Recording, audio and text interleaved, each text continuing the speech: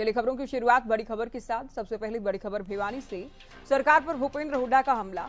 हरियाणा सरकार को एक बार फिर से हुड्डा ने नॉन परफॉर्मिंग सरकार कहा है। इससे पहले भी बहुत बार कहा कि केवल इवेंट मैनेजमेंट की सरकार के, केवल इवेंट मैनेज किए जाते हैं। परफॉर्मेंस के नाम पर सरकार को लगातार घेरते आए, घेरते नज़र आते हैं हुड्डा। और सीएम के जनसंवाद कार्यक्रम को लेकर भी हुड्डा का हमला। नौ साल के बाद जनसंवाद नहीं, बल्कि स्वयं संवाद कर रहे हैं सीएम हरियाणा सरकार से हर एक वर्ग परेशान है। तो भूपेंद्र हुड्डा एक बार फिर से सरकार पर हमलावर नज़र आए। सीएम चुंकी जनसंवाद कार्यक्रम कर रहे हैं, आप जानते हैं, सिरसा में कल से उनका कार्यक्रम शुरू होने वाला है। अगले चरण पर सीएम होंगे। तो हुडा ये कहते हैं कि स्वयं संवाद कर रहे सीएम मनोहर लाल और नौ साल के बाद क्या जनसंवाद की अभी याद आई है? हरियाणा सरकार, नॉन परफॉर्मिंग सरकार के सरकार से हर एक वर्ग परेशान है।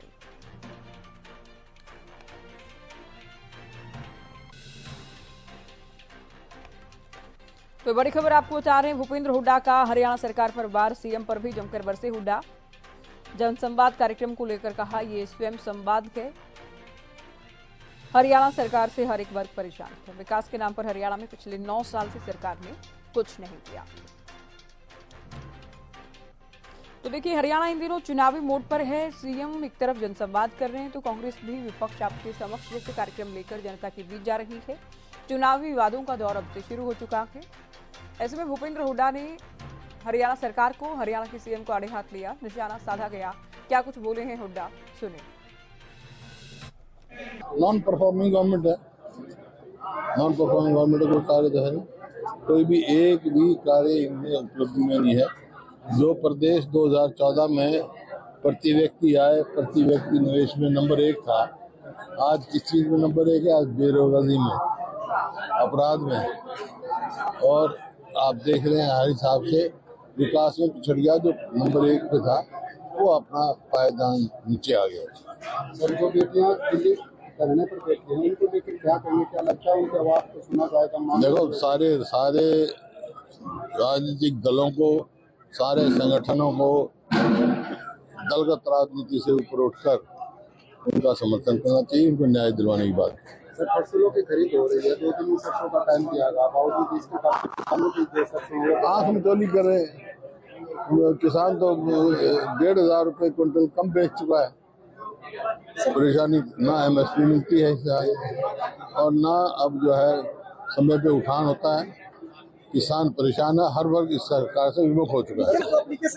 जन जन जन स्वाद नहीं है स्वयं स्वाद है वो। नौ साल के बाद जन स्वाद है क्या मतलब? चलिए हरियाणा बीजेपी से प्रवक्ता प्रवीण अत्रे और कांग्रेस प्रवक्ता बजरंग दास गर्ग जी हमारे साथ जुड़ेंगे।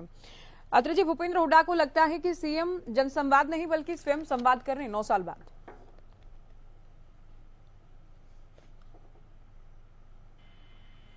प्रवीण अत्रे जी आवाज़ मिल रही है आपको?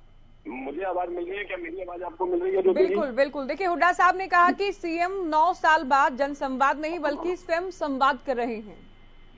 देखिए मैं वही कह रहा हूँ कि जब से माननीय मुख्यमंत्री जी ने जन संवाद कार्यक्रम शुरू किया है तब से हुडा साहब बहुत परेशान हम्म। और हुडा साहब को लग रहा है कि जिस तरह से माननीय मुख्यमंत्री जी के जन संवाद कार्यक्रम के अंदर जनता उमड़ के आ रही है वो हुडा जी की तकलीफ़ का बहुत बड़ा कारण है भूपेंद्र सिंह हुडा साहब लगातार झूठ बोलने का प्रयास कर रहे हैं वो कहते हैं कि उनके कार्यकाल में हरियाणा प्रति व्यक्ति निवेश और प्रति व्यक्ति आय में नंबर वन था।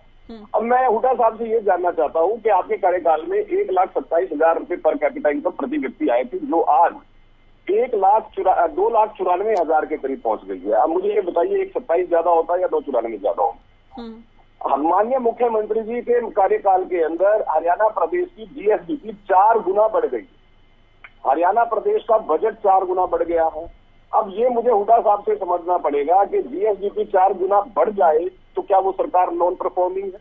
बजट चार गुना बढ़ जाए तो क्या सरकार नॉन परफॉर्मिंग है? माननीय मुख्यमंत्री जी के इस कार्यकाल के अंदर अब तक हरियाणा प्रदेश में साठ हज़ार से ज़्यादा छोटे बड़े मुनोले उद्योग। लगे चलिए भूपेंद्र तमाम हुड्डा बातें आप साहब कह रहे हैं। हालाँकि हुड्डा साहब कहते हैं कि कर्ज चार गुना बढ़ गया है बार बार कर्ज को लेकर। हालाँकि आप लोगों की डेफिनेशन अलग है भूपेंद्र हुड्डा से। बजरंग दास जी क्यों लग रहे हैं हुड्डा साहब को कि स्वयं संवाद के? और फिर जनता के बीच जाना जनता से संवाद करना अगर स्वयं संवाद के तो विपक्ष आपके समक्ष जैसे कार्यक्रम आप लोग कर रहे हैं हाथ से हाथ जोड़ो अभियान आप लोग कर रहे हैं उसके क्या मायने? ज्योति जी सरकार जो है मुख्यमंत्री जनता के बीच जाए उसका मतलब ये है कि जनता की समस्या को हल करना। हम्म, मगर मुख्यमंत्री जी जनता की समस्या हल करने के बजाय जनता की समस्या बढ़ाने में लगातार लगे हुए हैं। कैसे? मेरे साथी कहते बताओ आपको, आज इनके राज में देख लो। तूने हुए सरपंच सड़कों पर, या किसान सड़कों पर, व्यापारी सड़कों पर, छात्र सड़कों पर, आंगनबाड़ी महिलाओं सड़कों पर, अगर ये जनता की समस्या को हल करते तो ये लोग जो जितना बड़े मैंने उदाहरण दिया, क्यों आंदोलन कर रहे हैं? तो इसका मतलब सरकार कुछ कर नहीं रही। सरकार जो भी फैसले ले रही है, जनता विरोधी फैसले ले रहे हैं। ना तो नए महँगाई की बात करते हैं, ना बेरोजगारी की, ना खराब कानून व्यवस्था की बात करते हैं। और मेरे साथी कहते हैं, देखो जी, हमारा तो टैक्स पहले चार गुना ज़्यादा आया। मैंने मान लिया चार गुना ज़्यादा आया। तो चार गुना आपकी इनकम पहले से ज़्यादा है तो फिर कर्जा क्यों बढ़ रहा है? हरियाणा के ऊपर आपने कर्जा ले रहे पैसा खा ले गए? कर्जा लेकर कौन सी मलाई खा ली आपने? जो अड़तालीस साल में खर्चा सत्तर हज़ार करोड़ रुपए हुआ करता। आज वो चार लाख करोड़ नहीं सत्तर करोड़। हुडा साहब खुद मान गए हुडा साहब ने कहा चलो हम मान भी लेंगे तो चार गुना बढ़ गया ना। मैं ज्योति जी आपकी बात रही करिए आपकी बात मान लेता हूँ आपकी बात बड़ी करता हूँ। मैं ये कह रहा हूँ अड़तालीस साल के अड़तालीस साल के अंदर तो हेलो? अड़तालीस दो जी अड़तालीस साल में कर्जा तो अठानवे हज़ार करोड़। और कोई नौ साल के अंदर आप साढ़े आठ साल लगाओगे तो यही कर्जा चार गुना बढ़ा दिया उन्होंने। वो जो आपके पास इनकम ज़्यादा है तो आप ये कर्जा क्यों ले रहे हो? कर्जा लेकर मलाई खा रहे हो? ना ना, ना तो कोई जाते हुए कोई काम दिखता है। जाते में आप आपके सामने है। स्कूलों की हालत करता है हॉस्पिटलों की हालत करता है। स्कूलों में आपके सामने है। स्कूलों में अपना टीचर नहीं है कहीं का टीचर नहीं है। सरकारी स्कूल बंद हो रहे हैं इनके। हॉस्पिटलों में मूल वो सुविधा नहीं है। तो कहाँ पैसा लगा दिया? आप लोगों को ये लग रहा है कि हर एक वर्ग केवल परेशान है सरकार से। जी परेशान है? ठीक है। जन संवाद तो को लेकर ठीक है तमाम आरोप तो है ही। अ, जन संवाद को लेकर हुडा साहब ये कह रहे हैं कि अब क्यों याद आई है जबकि अगले साल चुनाव है? अब क्या याद आ गई जनता की? देखिए सबसे पहली बात तो ये है कि मुख्यमंत्री मनोहर लाल जी का जो पिछला कार्यकाल था माननीय मुख्यमंत्री जी ने पिछले कार्यकाल में जो काम किए थे उसको लेके हम 2019 में जनता के बीच में चले गए थे। जनता ने हमारे कामों की सराहना की थी इसलिए हमें दूसरी बार सत्ता सौंपी जनता ने। अब जो साढ़े तीन साल का कार्यकाल है जिसको लेके माननीय मुख्यमंत्री जनता के बीच में गए जनता तो से संवाद कर रहे हैं जनता की। समस्याओं को समाधान कर रहे हैं। क्या कह रहे हैं आप? सत्ता तो जनता ने नहीं सौंपी थी। सिंगल लार्जेस्ट पार्टी आप लोग थे लेकिन मैंडेट सरकार बनाने का नहीं था। खैर वो अलग बात है। आप कह रहे कि सत्ता नहीं नहीं नहीं नहीं नहीं देखिए लोकतंत्र के अंदर अगर हमें सिंगल लार्जेस्ट पार्टी बनाया हमें 2014 के मुकाबले साढ़े तीन प्रतिशत ज़्यादा मत दिया तो मतलब जनता ने हमारे कामों को सराहना की तभी हमें ज़्यादा मत मिला। वरना कांग्रेस की तरह हमारा मत जो साढ़े ग्यारह प्रतिशत कम ना हो जाता जैसे कांग्रेस का हुआ। हमारा मत प्रतिशत बढ़ा क्यों? आपके आपके क्योंकि हमारे विधायक काम घटे की सराहना उनके विधायक काफ़ी बढ़े। ठीक है। नहीं नहीं उनके विधायक भी बढ़े मैं ये बात कर रहा हूँ जब भूपेंद्र सिंह हुडा 2005 से लेकर ओके। 2009 की है, सरकार चला 2009 चुकी की बात कर मैं तब बता रहा था कि मत प्रतिशत जो घटा है मैं तो उसका ज़िक्र कर रहा हूँ। ठीक है। लेकिन यहाँ पे मत प्रतिशत बढ़ा मतलब जनता ने माननीय मुख्यमंत्री के काम की सराहना की तभी मत प्रतिशत बढ़ा। लेकिन जो बात अभी बजरंग जी कर रहे थे कि फला सड़कों पे है फला सड़कों पे है एक बात तो स्पष्ट तौर पे है कि कांग्रेसी सड़कों पे ज़रूर पहुँचा दी है माननीय मुख्यमंत्री जी ने।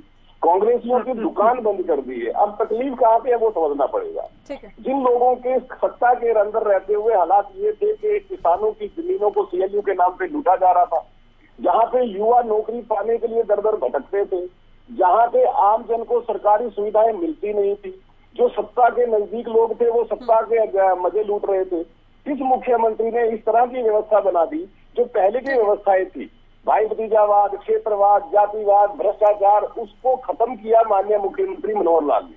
नतीजा ये हुआ कि युवाओं को योग्यता अनुसार पारदर्शी तरीके से नौकरियाँ मिलनी शुरू ठीक है प्रवीण अत्री हालात जी आपके पास बहुत सारी उपलब्धियाँ हैं बताने को बजरंग दास जी के पास ये साहब के पास बहुत सारी खामियाँ और बहुत सारे आरोप हैं सरकार पर। बहुत शुक्रिया आप लोगों ने वक्त दिया हमने चर्चा की।